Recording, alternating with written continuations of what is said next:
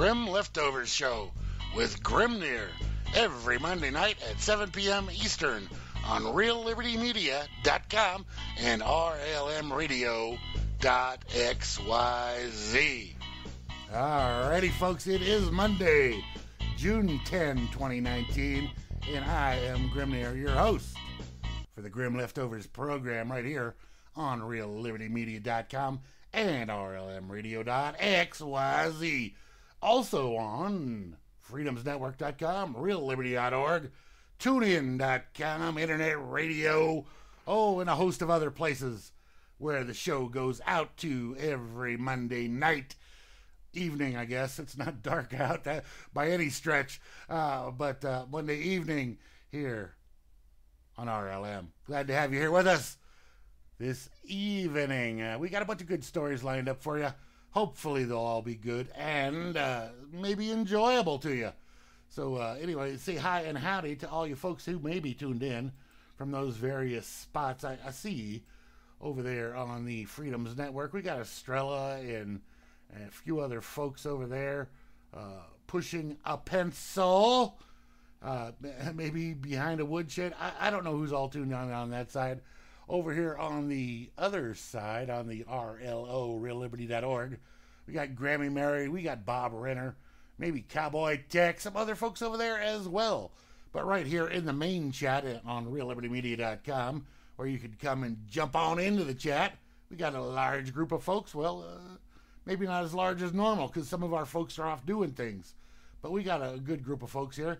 We got the Beetle and the Moose Girl, Mr. DC, and anti-Asmodeus Beth Z. Chalcedony. Mr. Free, enslaved. Hey, Free. How the hell you doing? We got Java Doctor and Kate, Mr. Rob Works, Mr. Romes. We got the bots, the famous bots, Vanna White and Weather Dork. Yeah, I didn't mention you, barman. Sorry. Uh, we got Phantom and Cyborg, got Noodle, Dakota and Frumpy, and Gramsy here too. And we got Huh and JJ's and Kiss and that crazy smart ass bot. Oh yeah, uh, Mr. Vin E is out on the river, rolling on a river, going down the one of them rivers out there in Arkansas, taking a little break from the radio for a while. But he'll be back in a couple of weeks, and then he'll be gone again for a while. And uh, I don't know. Uh, I, th- I, think uh, Goober's probably having troubles right now. so he's not here with us, and a couple other folks that I could mention, but I'm not going to. Uh, anyway, we got a bunch of stories lined up. Uh, this this morning, just this morning, I was I was messaged a story, uh, which is not a new story. So I figured, hey, it's not a new story. I could cover it on the leftovers, even though I just saw it today. It's a rather humorous story, although it was not intended to be a humorous story by the author. it's it's posted on a website called police1.com, some kind of cop website. And uh, it's uh, from the detective's notebook, Mo Greenberg. Uh,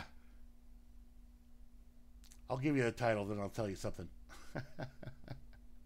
he writes, What cops need to know about sovereign citizen encounters. The first thing you need to know, Mr. Greenberg, is there's no such thing as a sovereign citizen. It is indeed a huge oxymoron. If you're a citizen, you're not a sovereign. If you're a sovereign, you're not a citizen. anyway, to go on. he says the threat to officer safety posed by you oxymoronic sovereign citizens is well known. Is it? Here's how to be safe and professional during an encounter. This article was originally apparently posted back in 2013 and then was updated again in 2017. Still invalid. Still invalid. Law enforcement officers, aren't they kind to themselves? Instead of just calling themselves swine, they call themselves law enforcement officers, across the country are experiencing a growing number of contacts, uh, beat ups, thuggings, uh, with sovereign citizens, individuals and groups who possess a strong anti government ideology. Now, while I possess a strong anti government ideology, I am anything but a sovereign citizen.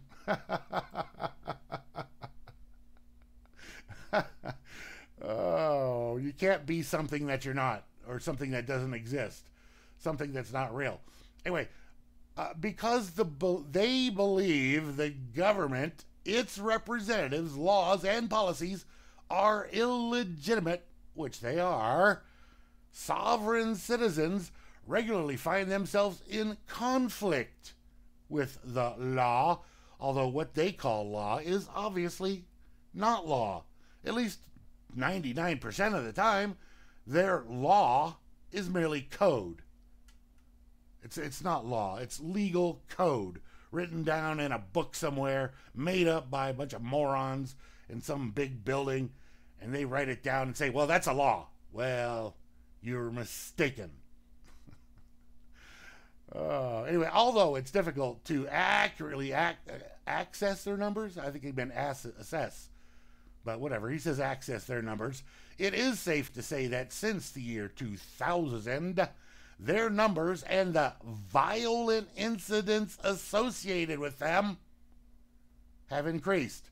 Now, the only reason you may have violent incidents with somebody who is anti government, with whether you want to call them a sovereign citizen or something else, a voluntarist, an anarchist, whatever, uh, just a person, just a person, a regular old person, not the legal definition person, just a person, as is the common uh, nomenclature uh, allows for. Um, so the only reason you would have you you jackboots would have a violent incident with them is if you started that violent incident.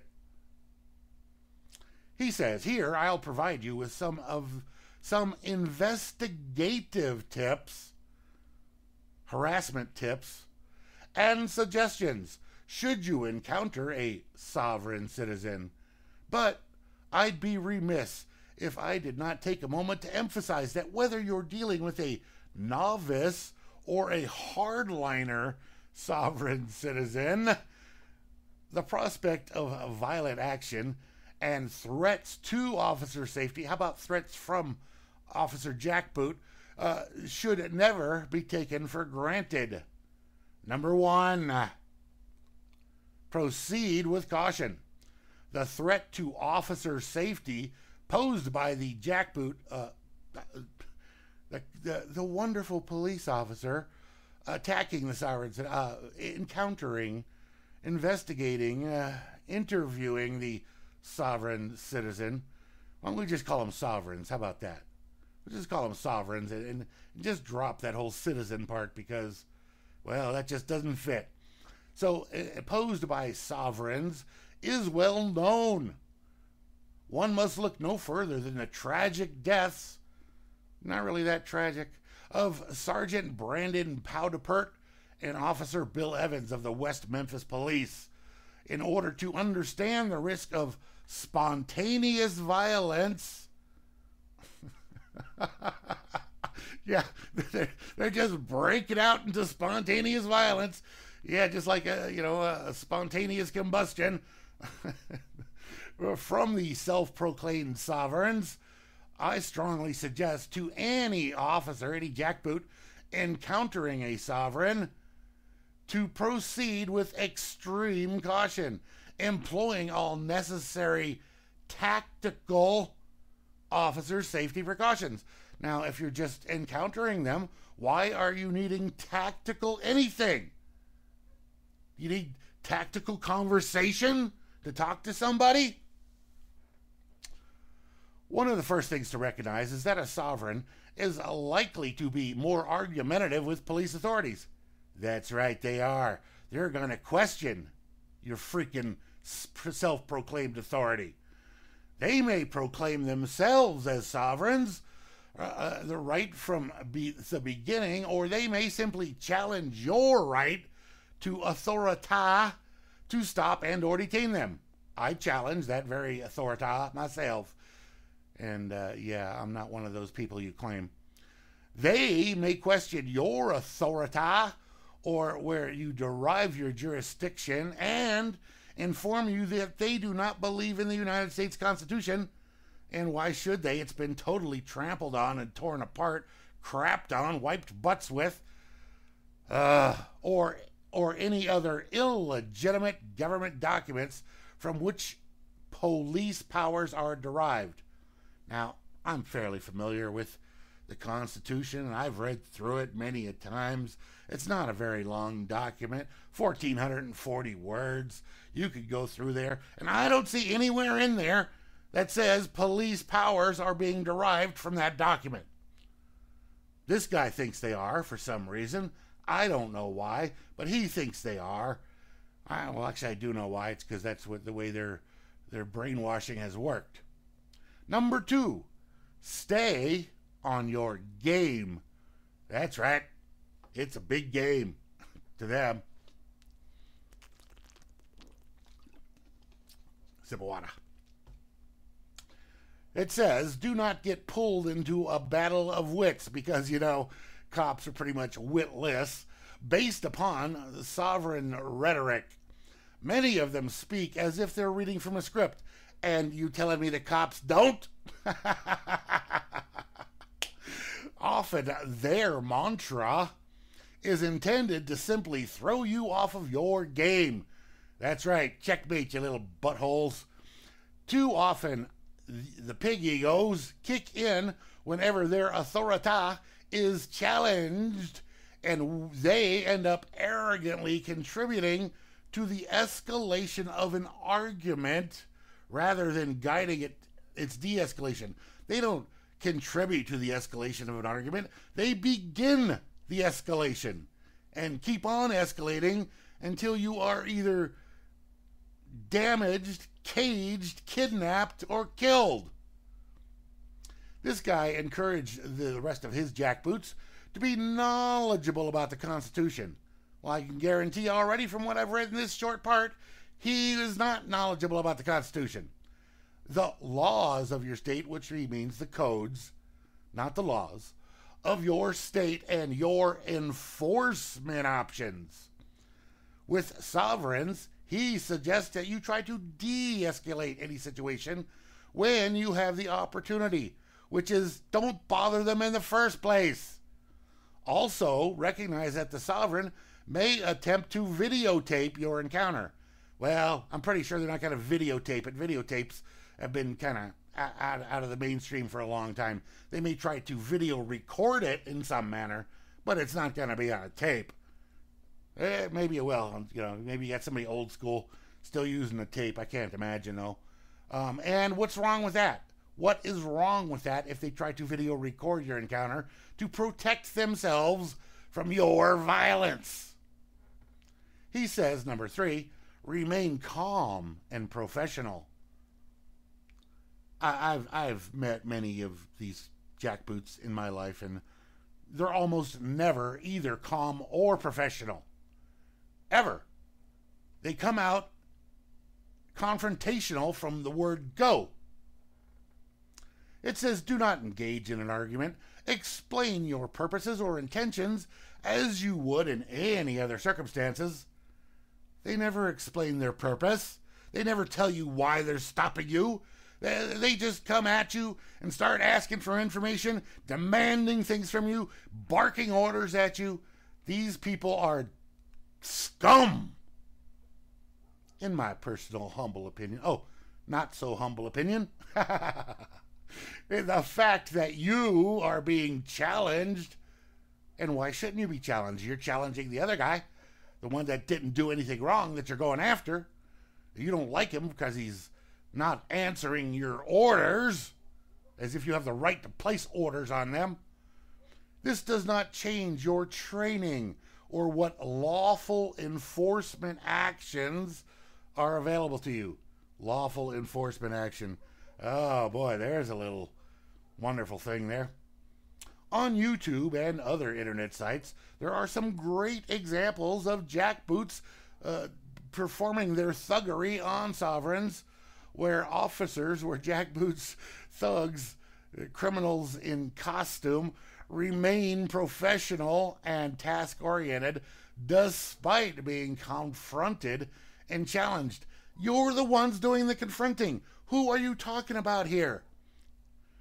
He also encourages them to take a moment to watch a brief safety video offered by the West Memphis Police Chief, uh, Chief Bob Paudert, father of Sergeant Braden Paudert, regarding the dangers of sovereigns. this one really got me here, too. Uh, number four, beware of fraudulent documents. Sovereigns can be an investigative challenge. Much of their personal identification information, such as birth certificates, do you know people carrying birth certificates around? Let, us let's, let's stop. Uh, d- does anybody here carry around a birth certificate? Driver's licenses, which, of course, if you are traveling in a vehicle, you are not a driver a dri- unless you're driving commercially, which is the only time you're actually a driver is if you are driving commercially. If you're a person, a normal, everyday human going from point A to point B in a motorized or other type of vehicle, you are not a driver. Vehicle tags, they think these are all fraudulent documents from sovereigns. When asked to provide a name, that means a government approved, a government issued name, they may respond that they don't have a name. That's right, I have no name. My name is nobody. they may identify themselves as the representative of their state approved government assigned name. If you do receive a name, it may be a sovereign name compounded with El or Bey. I've never heard such a thing. El. Grimnir? Bey Grimnir? No, I don't think so. El or Bey. Well, what is the point of that, anyway? And intended to announce their association with the name provided them, assigned to them, issued to them by a government entity. Be sure to document all known aliases. Number five, gather intelligence.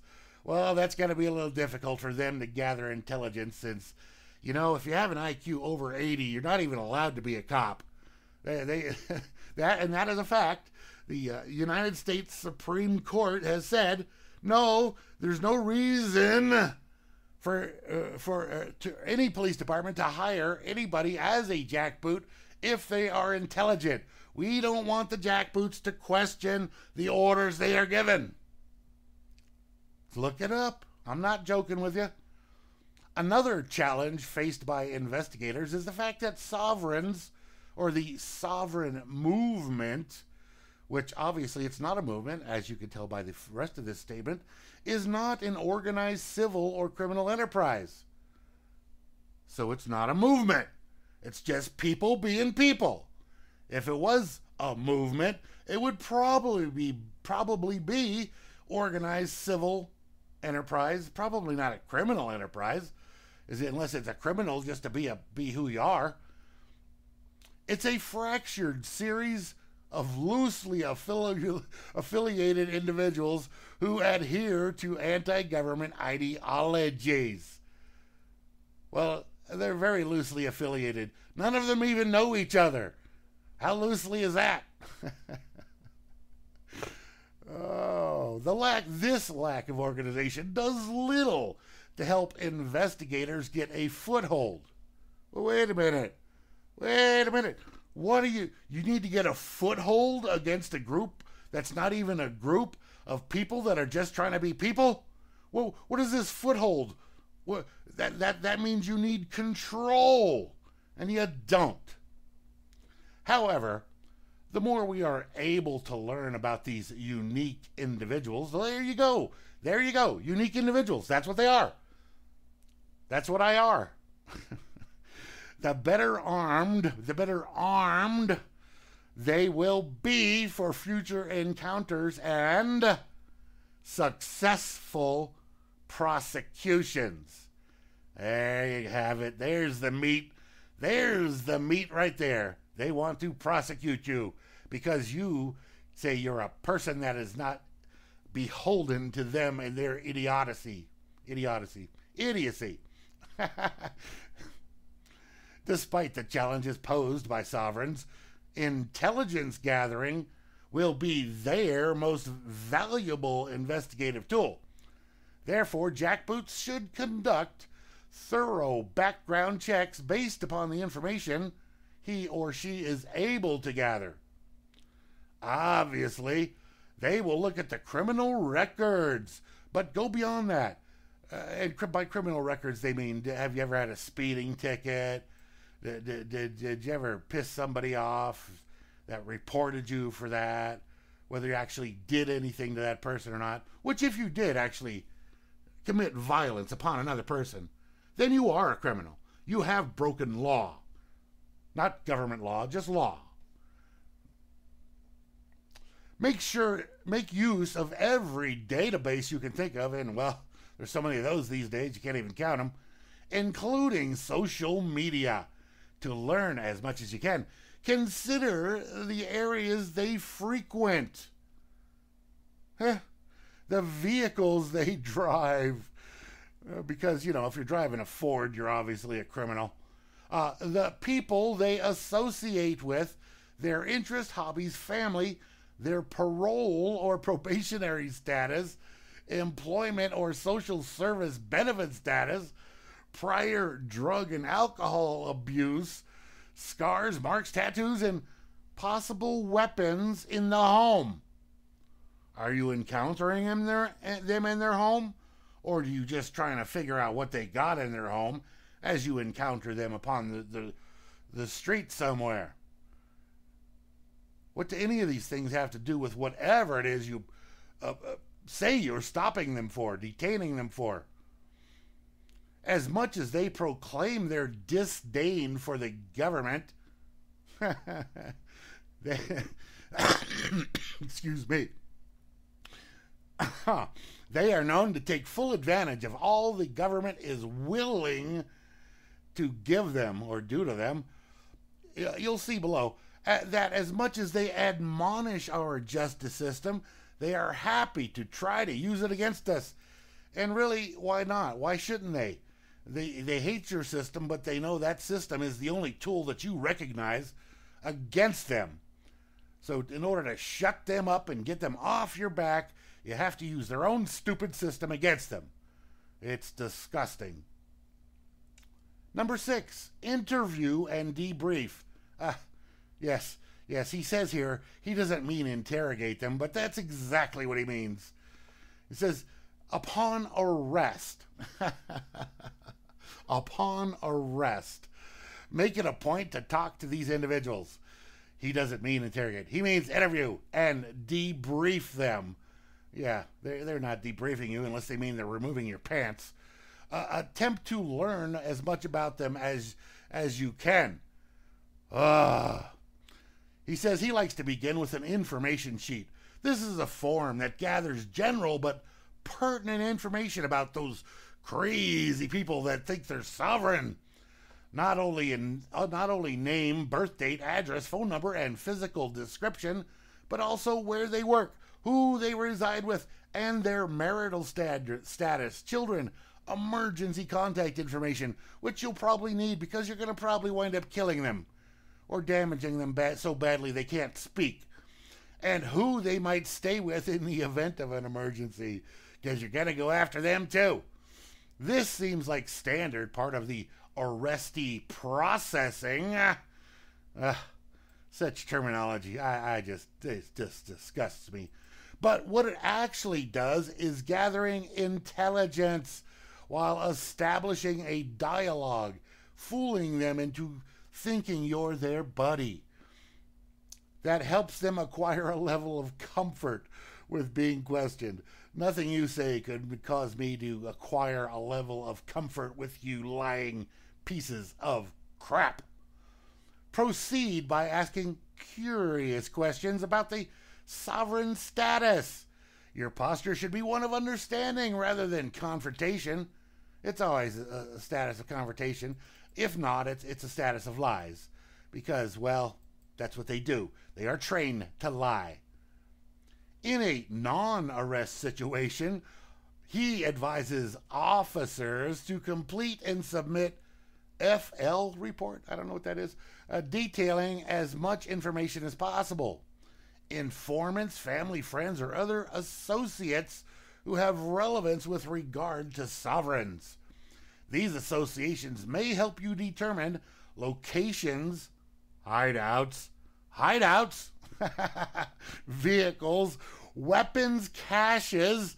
Oh, yeah. Sovereigns all got huge weapons caches everywhere. They're just stashed all over the place. These guys are loaded loaded for bear. and other useful uh, information towards building a case to do nasty things to them. Anyway, I'll, I'll let you read the rest of this if you want, but it's, it's all just such total nonsense. Uh, it goes on to conduct surveillance and search warrants, use tact, patience, and persistence. Above all, stay safe. These guys are horrible, horrible. Thank you for that, Miss Cirque. I appreciate uh, that article. It is it is hilariously hilarious that this is the way these morons think. Another sip of water. Ah. okay. This article, uh, I'm not, I was not born a Viking. I have not. I am not of Nordic ancestry. But I have a, a, a personal spiritual connection, I'll sh- I shall say, to the Vikings and their culture. After all, my name is Grimnir. all right, so here we go from a website called returnofthekings.com. This article posted August 16th, 2017. Swedish Museum accelerates their cultural collapse by turning Viking artifacts into scrap metal. These are these are valuable, not only from a, a, a, a monetary base, but also from a cultural base. Following the revelations of one of its angry archaeologists, it emerges that the curators of the Stockholm Landsmuseum, Landsmuseum have been ordering the systematic destruction of newly found artifacts from the Iron Age and the Viking period under the guise that it would be too burdensome to process. Coins, arrowheads, ritual amulets, weapons, jewelry, and weights that were kept in the past are now directly dumped into metal recycling bins upon discovery instead of being treasured and displayed. They could sell these things for a lot of money. They, they certainly don't need to just melt these things down. That's crazy. The museum says following a recent surge in excavations aimed at construction that are occurring all over Sweden, the museum excavators are instructed to recycle unearthed iron elements into scrap metal following the pretext that it would take too much resources to process, identify, and store them. The findings are usually quickly disposed of in order to make way for construction machines and building workers.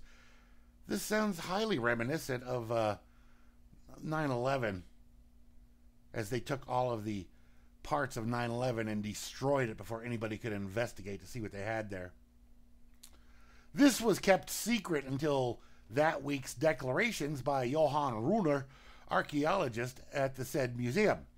He tried to raise the alarm, but only met indifference from liberal Swedish media. According to Runer, uh, this has been going on since at least 2016, as he recalls.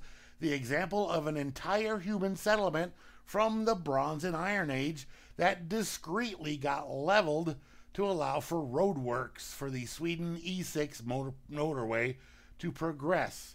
We do not know so far if this practice only incriminates this museum or is part of a greater scale.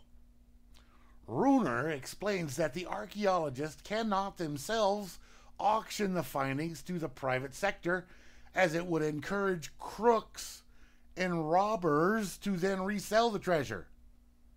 Well, if you're auctioning them to people, these are neither crooks nor robbers, and it's their property once they have purchased it at an auction to resell them as they want.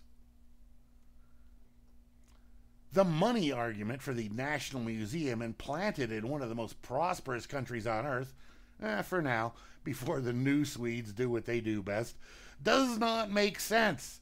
There is no shortage of funds in Sweden to host more refugees and pro- promote multiculturalism in every media, but the money seems to vanish when it's time to preserve European common heritage.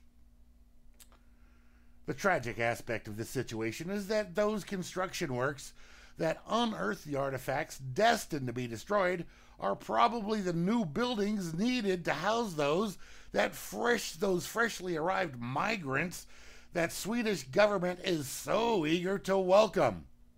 Talk about full circle. Uh, treasures thrown away when the answer is the people. Archaeological artifacts made of iron are altered by time and roughened by terrain. No one can really judge their quality and uniqueness until they are being processed and restored. In this particular case, no chance is taken, and anything made of metal that is not well conserved is ditched.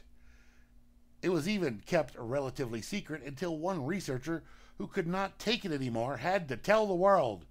Why do they not invite other museums around the world to collect and protect the artifacts in their name if money is an issue? I know at least 10 museums around uh, around me that would stop everything they are doing right now to plan a trip and bring back the artifacts to add them to their collections. Why why do they not store them in labeled wooden boxes as, as it was done for hundreds of years? If not, let them ask for voluntary work to take care of the findings, or let it be given to the native people that are interested in this culture. Even if used as doorstops or cutlery, they'll take better care of it than the Swedish liberal government. The gods are angry. This news makes my blood boil. Mine too, buddy. I am an enthusiast of the Viking Age, being an eager student of its history, folklore, and traditions as our readers have noticed in the past. But regardless of my attachment to this particular culture, it is the gross disrespect and complete lack of regard for an entire country's history that makes me furious. And knowing the hardly hidden motives behind it makes it worse. Terminally ill patients suffering from liberal cancer, like Alice Bah Kuhnke, New, New Swede, Swede, New Swede, and Sweden's Minister of Culture are the ones that now approve those decisions and define what should compose Swedish history. Ah, the new alternative history.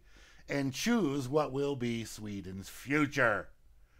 The same people that consider the ideal treatment for returning ISIS fighters to Sweden should be uh, should show should be more in love and integration. I think that's a little bit of mixed up uh, terminology there. Uh, the leftoid cyborgs.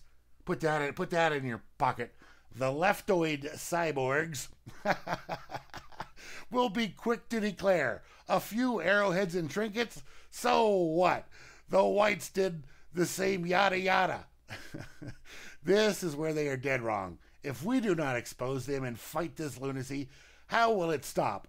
This story is just more proof that the left's effort to shape the future of their ugly world using this technique of scorched earth. It also follows recent claims from leftists and ancient marble statues made thousands of years ago are actually racist and were specifically used to whitewash history. Uh, oh. I, I uh, ah, uh, other examples of where history is targeted include the left using violence and threats in order to get Southern generals' statues removed from various locations in the US of A. Lately, the BBC used an incompetent feminist professor's views to create an educational cartoon where, among other things, Roman centurions in Britain are black. This is a one episode of a series where some Picts and Normans are Norman barons are also black. oh, yeah, whatever, man. I, I, don't care. I'll let you read the rest of this too, but it, it is it's it's ter- it's terrible. It's disgusting. It's it's. Uh, who do you think you're messing with here? All right.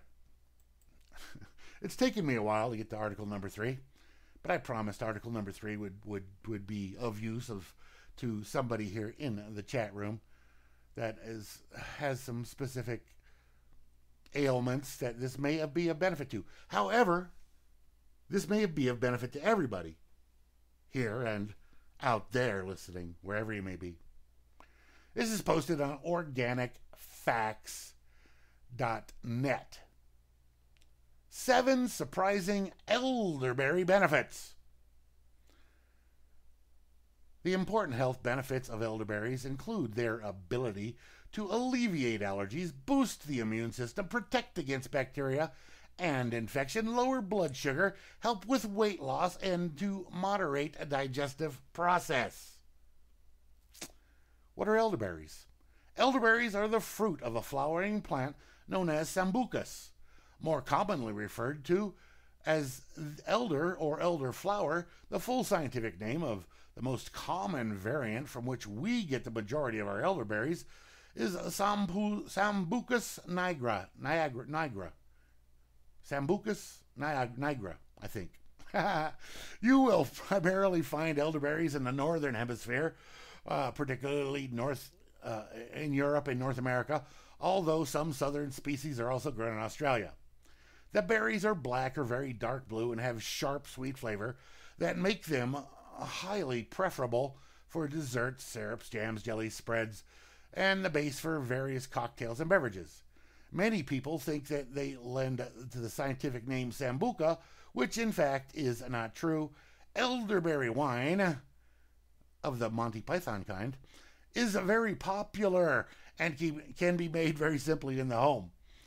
The nutritional value, according to the USDA, if you want to believe them for anything, uh, National Nutrient Database, elderberries are packed with nutrients, including minerals like iron, potassium, phosphorus, and copper, as well as vitamins such as A, B, and C, as well as proteins and dietary fiber, lots of that and some of the beneficial organic compounds that function as anti inflammatory and anti antioxidant agents in the body and have a you have one very powerful berry.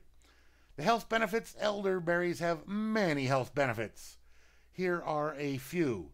They aid in digestion.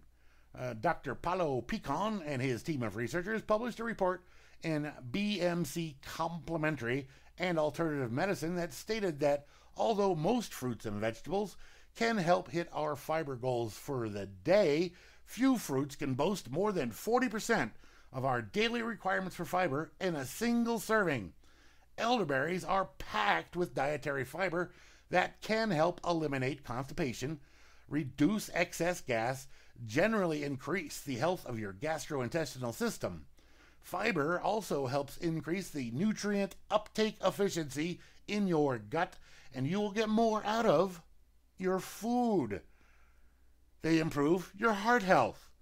A study published in the Phyto, Phytotherapy Research revealed that high fiber levels in elderberries help eliminate excess cholesterol from your system and make room for the HDL, the good cholesterol that your body needs. This can help eliminate the chances of developing arterial sclerosis, sclerosis however you say that word, and other cardiovascular issues. Additionally, a diet rich in uh, flavonoids like anthocyanins has been found to reduce the risk of heart disease. The high level of potassium in elderberries also protects the heart by relaxing the tension of blood and vessels in the arteries. As a vasodilator, potassium can significantly reduce the blood pressure and keep your heart healthy. Does the heart, does the intestinal, it also improves your respiratory health. When it comes to clearing up a sore throat, a cough, a cold, bronchitis, or any other issue that affects your respiratory system, elderberry juice might be your best choice.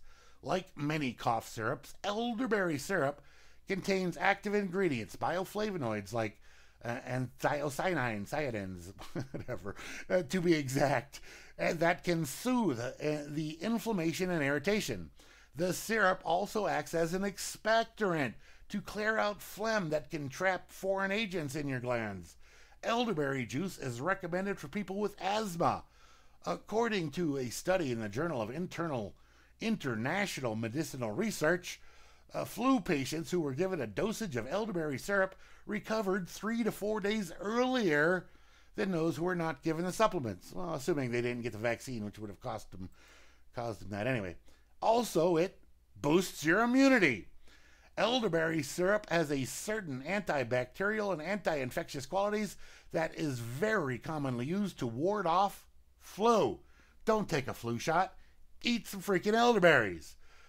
Uh, during bad seasons where it seems like everyone's catching it. Furthermore, elderberries can protect against uh, the effects of autoimmune disorders, even alleviating cer- certain symptoms associated with uh, the pain of AIDS. A 2011 uh, paper published in Romanian Biotechnical Technological Letters cited a study which, uh, uh, in which rats who were given elderberry polyphenols were found to aid immune defenses by raising the number of WBCs. It controls diabetes. You got anybody with diabetes? The active antioxidant ingredient in elderberries works directly on the pancreas to regulate insulin and glucose levels. This either provides stability for people who suffer from diabetes or help non diabetics to avoid developing the condition in the first place. And this one, most important to you, Mr. Java Doctor, hopefully you're listening, improves bone health. The antioxidant and anti inflammatory compounds found in elderberries can help alleviate joint pain and soreness from inflammation. The high levels of essential minerals in uh, help promote bone strength and the development of new bone tissue. Osteoporosis is a condition that millions of people face in the later years of their life, but increasing bone density during your younger years uh, can delay the onset considerably. Uh, bear that in mind. Anyway, skincare. Elderberry uh, makes its way into lots of cosmetic applications, primary, primarily because of the bioflavonoids in it, uh, in the elderberries that can boost your skin health. This antioxidant activity, combined with significant levels of vitamin A, make elderberries for preventing the lessening wrinkles, helping the age spots, and are generally involving the glow and tone of your most visible organ. Need to shed a few pounds? Weight loss. With the high level of dietary fiber combined with the metabolism speeding effects of these solid vitamins and mineral injection, elderberries aid in weight loss. The fiber helps keeping helps keeping you feel full. The low calorie count does not affect your intake, and you get dozens of other health benefits as well. However, we cannot bypass the side effects. The major side effects of elderberries include the following. Since most of the berries of the genus Sambucus are toxic, caution is suggested, and cooking the elderberries before consuming is always a wise choice.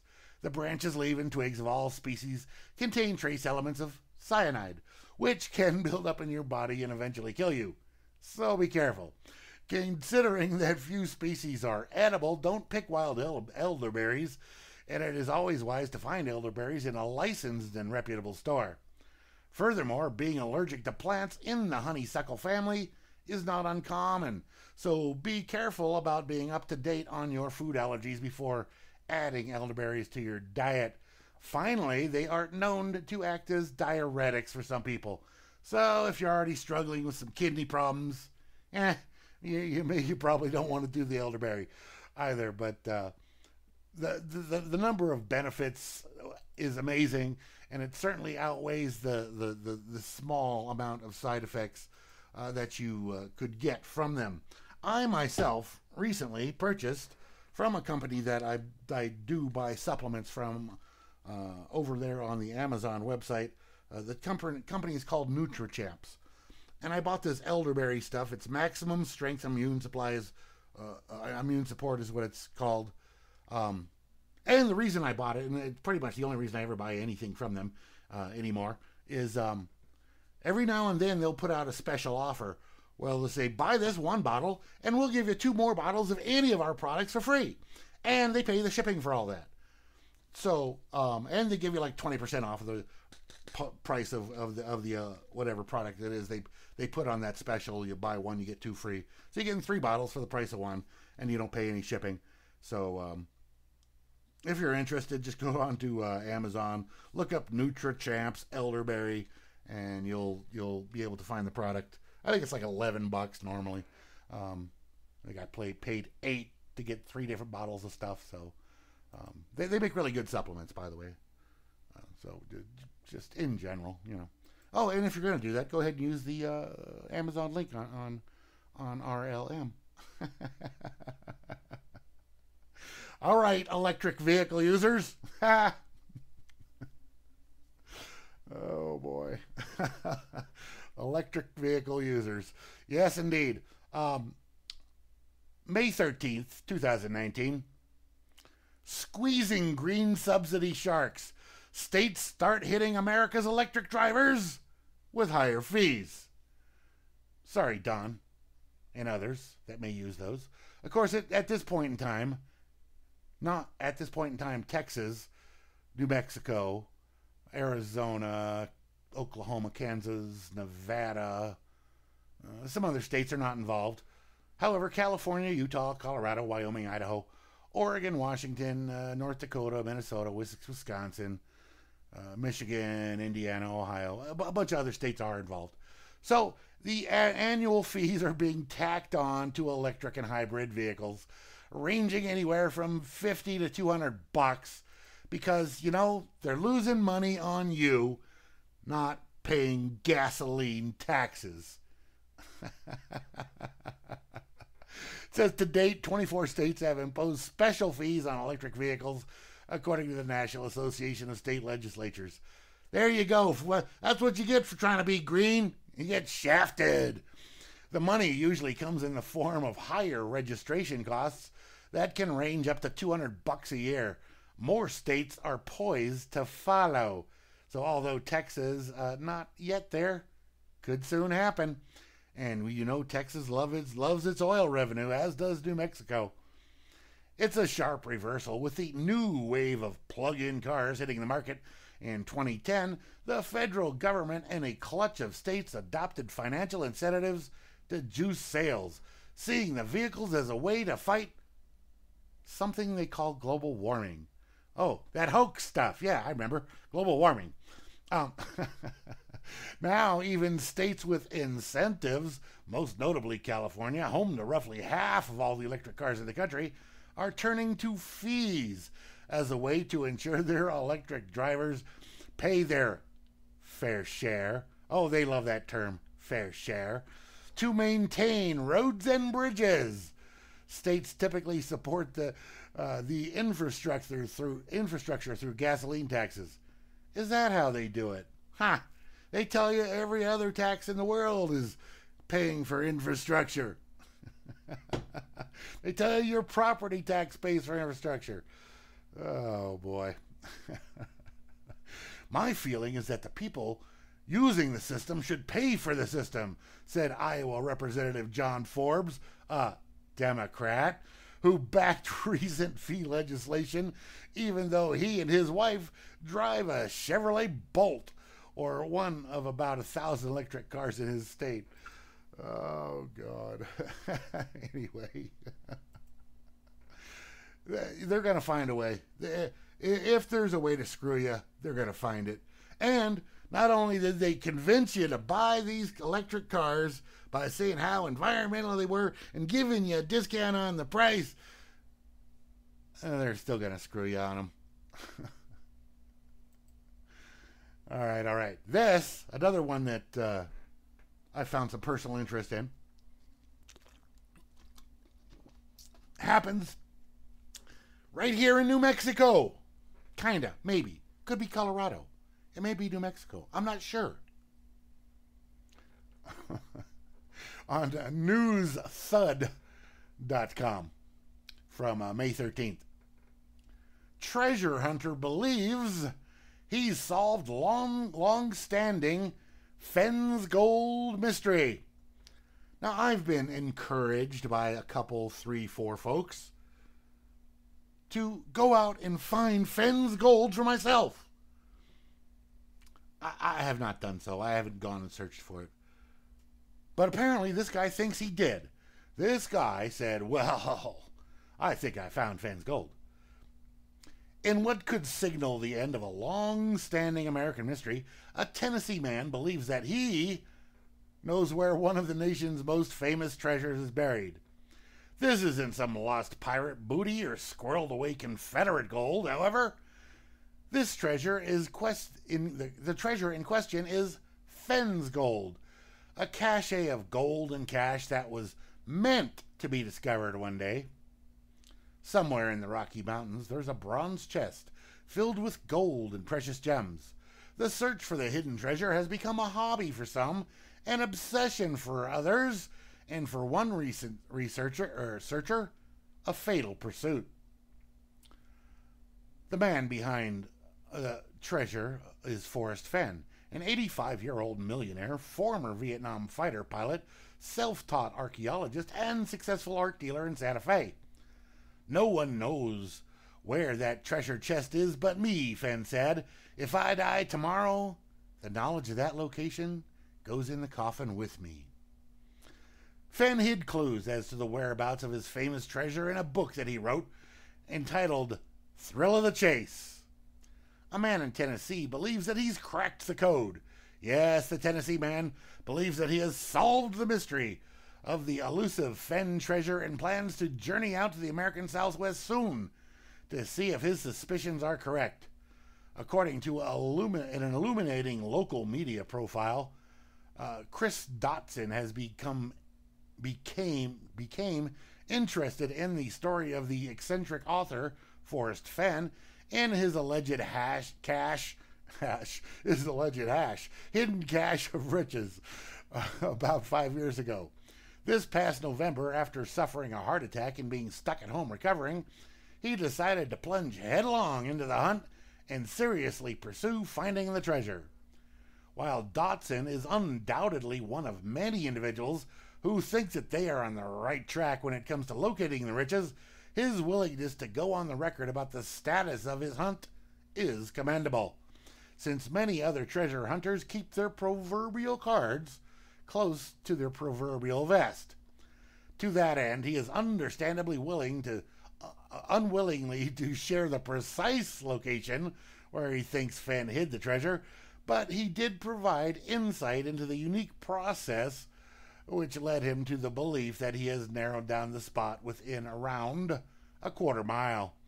Dotson was also encouraged after he received a rare response from Fenn himself who cautioned the intrepid explorer to wait until summer to take the expedition. Now, they don't provide here in this article uh, the uh, his methodology, but there are links to the other articles that include such information. So, uh, more power to you, buddy. I actually do hope you do find Fenn's gold, and uh, that will um, take care of a lot of things right there. All right. I don't have too much time left, and I still got three stories. Oh, all right. Well, let's just do these real quickly here. Bayer, and this is from March 13th, uh, 2019, from Reuters Business. Uh, Bayer says Monsanto likely kept files on influential people across Europe. Huh. A criminal enterprise keeping track of people that may have a say so. Bayer said on Monday its Monsanto unit, which is being investigated by French prosecutors for compiling files of influential people, such as journalists in France, likely did the same across Europe, suggesting a potentially wider problem. French prosecutors said on Friday they had opened an inquiry uh, after a newspaper Le Monde filed a complaint alleging Monsanto, acquired by Bayer for 63 billion last year, had kept a file of 200 names, including journalists and lawmakers, in hopes of influencing positions on pesticides. There is more to this story. Read for yourself. I know you're all shocked and surprised that a company like Monsanto, aka Bayer, would uh, be keeping tabs and trying to influence certain folk that may have a say in where laws and lawsuits go. now, for those of you that uh, may be looking for extra income or income at all, um, I don't see and well then here. I, I know he's always kind of digging around for a little work. Maybe Goober, I don't know, others out there. Moose Girl, maybe you want to try this. This could be good for you too, Moose. Um, Amazon offers employees $10,000 and three months uh, pay to start their own delivery businesses. And you got good sized vehicles, Moose. You could do this. Following news of Amazon's plan to reduce prime shipping down to one day, the company this morning announced an expansion of its delivery service partner program, which now includes a new incentive that encourages existing Amazon employees to start their own package delivery company. Uh, the, pro- the program, first announced last year, includes access to Am- Amazon's delivery technology, hands on training, and a suite of other discount discounts for assets and services like vehicle leasing and insurance. Kate, you interest, interested in this? For employees, it now includes a $10,000 incentive as well. The retailer says it will fund startup costs. Um, may, may, uh, uh, maybe you, Christine. Um, uh, the retailer says it will fund startup costs up to $10,000, as well as the equivalent of three months of former employees' last gross salary to give their employees what their ability to get a new business off the ground without worrying about the break in pay.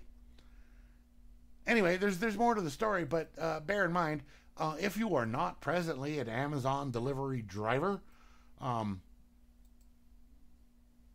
then you could do that too because they, it, well, I can't obviously because I'm in a remote place and probably I, I, don't know, Christine, you're even more remote than I am. Um, but others of you out there uh, that are not so remote, you may may want to consider being like an Amazon delivery person. Uh, it's a cool side gig for people. You can make some money. You know, it's better than doing like Uber or something where you got to deal with people uh, in your car. So uh, yeah, th- there's that. How is it illegal to keep files on influential people? I don't know. How it's it just seems shady. I I, I don't know that it's illegal. Uh, it just seems shady. and Monsanto and Bayer are both known for being shady. And finally, we'll close up with this here from the Climate changedispatch.com website. Old news to all of us, new news to other folks. How climate alarmists use scientific trickery to push global warming. When the empirical data shows so clearly that computer climate models grossly exaggerate the warming effect of carbon dioxide, dioxide, uh, how do climate alarmists maintain public alarm? Tricks. Among the more famous was Mike's Nature Trick. University of East Anglia client, client scientist Phil Jones write that he used Mike's Nature Trick of adding real temps to each series for the last 20 years from 1981 onwards and uh, from 1961 for Keith uh, to hide the decline. If you remember the Minnesotans for global warming song over there on the YouTube, Hide the Decline, yeah. they got sued by Michael Mann over that song. Michael Mann has no sense of humor when it comes to his lies. Anyway, the recent hide, a, a decline in recent uh, temperatures would have appeared in the continuation of proxy temps used for earlier part of the graph that displayed a crucial role in convincing the world what a dangerous warming has happened. Even more famous and earlier was Michael Mann's hockey stick graph, the graph that gave the appearance of a stable global temperature for over a millennium, followed by a sudden dramatic warming starting in the late 19th century. The graph appeared uh, appeared repeatedly in the Intergovernmental Panel on Climate Change (IPCC's) third assessment report 2001 and in media reports published worldwide. But interestingly, never in the later ICC publications. because because ClimateGate. it was all exposed as a lie. Oh boy. Anyway, there's also more to that article, but like I said, it's not a shock or a surprise to any of those here in the chat that are listening uh, to this show. Anyway, thank you all for tuning in. Uh, it's it's been a fun show for me. Hopefully, fun for you. I don't know. Hopefully, though. Uh, I'll be back again next Monday, the 17th, uh, with episode 27. This is episode 26, uh, and and uh, it's the 24th week of the year. Yeah. So another grim leftovers next Monday evening. Uh, tonight, tomorrow, tonight, whatever you want to call it, 2 a.m. Eastern Time this morning. Flash somebody's program in a perfect world is moving from 2 p.m. wait 1 p.m. Eastern time to 2 a.m. So back it up 11 hours, 2 a.m. Eastern time, uh, right here on RLM Radio. So if anybody's awake at 2 a.m. Eastern time and wants to listen to Flash, that's when you'll catch him. If not, I'll be posting the podcast in the morning after I get up. So bear that in mind. Um, Grimnir's on Wednesday and Friday at 7 p.m. here normal time. Flash will be on, I do believe it is normal, daytime show for us, not a nighttime show for him. Uh, yeah, he's over there in Denmark or somewhere in Europe. so so he's at a different time. So check him out Friday night. I will be on myself without the Moose Girl. The Moose Girl's going to the Blue Ox Festival there in Eau Claire. So it'll be balls to the wall show program Friday night. Vinny is off for a couple weeks. He won't be on Friday. Uh, check the schedule over there on RLM for the rest of the shows. Thank y'all very much. Love ya. Peace.